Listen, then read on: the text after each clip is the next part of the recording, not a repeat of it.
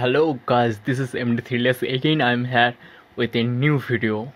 Here we will see how can we block internet to a particular application or we can block advertisement to a particular application through blocking the internet connection to that application.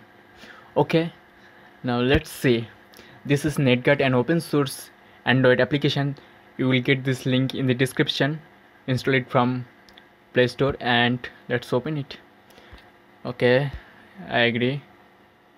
Okay okay okay okay. Now click on the three dot menu and go to settings. Click on default. Now disable the applies when screen on rules. Click on block Wi-Fi and mobile data. If you do that then it will disable internet for every single application that is that is installed. But the system application will be able to use internet connection.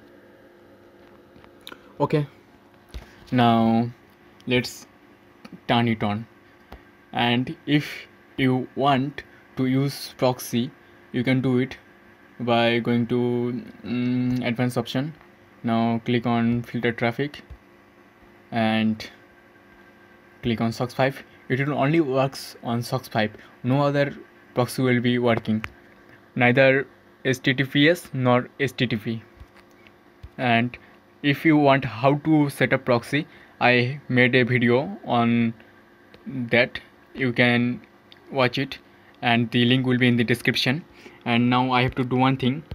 Now go to settings then applications then search for netguard and here. You have to go to battery and then click on battery optimization. All apps. Search for netguard here. Now click on don't optimize. Okay. If you click on optimize then it will not work because android will kill this application. Okay here you can see the red color on mobile uh, mobile icon uh, mobile data icon and wi-fi icon. That means the red color means internet is blocked to all these applications. If you want to unblock then click on mobile data. And now let's check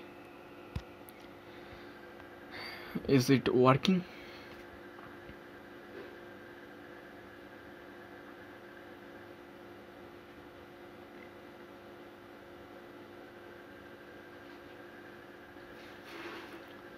And whenever you install a new application it will block internet for the application by default.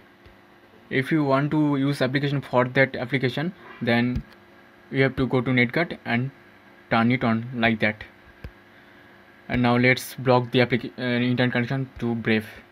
And now go to brave and refresh the page again.